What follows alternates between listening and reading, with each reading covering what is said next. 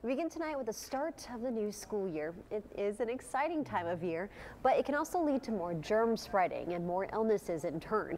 Local health experts say they are seeing an uptick in upper respiratory infections and common colds as school districts start back up. Brandon Schaff found out at what point they recommend seeing a doctor and better yet, how to avoid getting sick.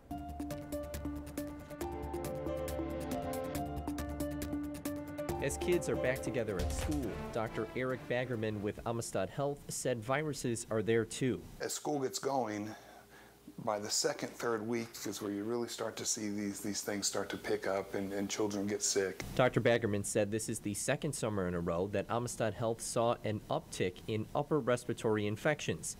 They see about a 30% increase in patient volume this time of year.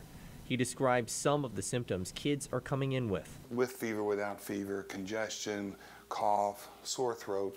Uh, sometimes it leads to ear pain. At what point should somebody come in to talk to a medical professional if they're not feeling well? If you are concerned about how a child is doing, or yourself, this is a time to, to, to be evaluated.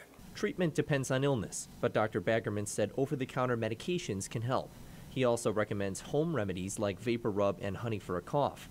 He said coming to a doctor can help them check if further treatment is necessary, like a certain treatment or prescription.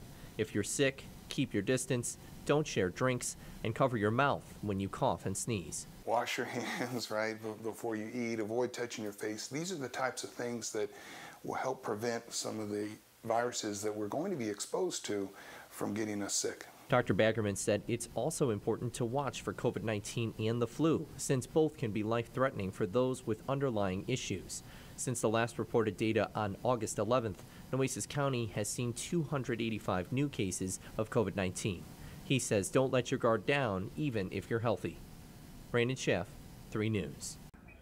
All right, Brandon, thank you. Well,